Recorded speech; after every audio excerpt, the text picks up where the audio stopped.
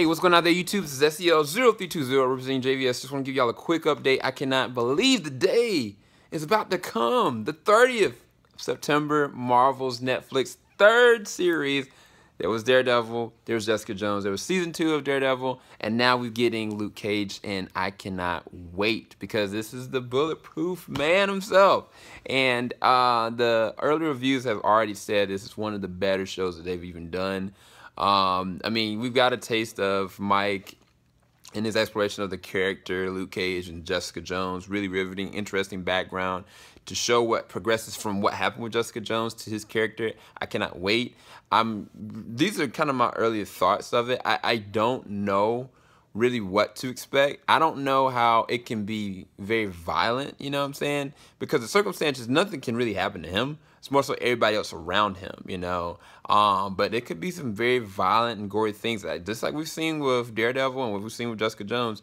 They they might not shy away from that. And the thing about it, even when I went to San Diego and I saw the footage I saw, I didn't get to see a lot of the gore. You know what I'm saying? Like I saw like some interesting shots, but I never got to see anything. Um, I feel like they will not hold back at all. Um, I think that the cinematography is going to be really dope. I think that the VFX, even specifically utilizing him with his powers, is going to be really awesome. My interesting thought is I think that Daredevil might show up for some reason. And I know for a fact that Iron Fist will, just because these two are interesting pair. Whether or not Jon Bernthal will show up as Punisher, that'd be interesting touch.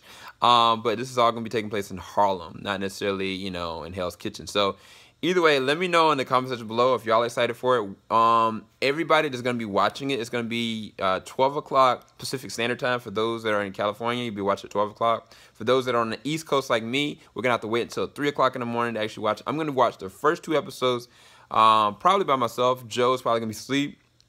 Alicia's gonna be asleep. So I'm going to watch the rest of it, binge rest of it on Friday and Saturday with them. But the first two episodes, I should have reviews up for it around 5 or 6 o'clock on Eastern Standard Time. So stay tuned for that.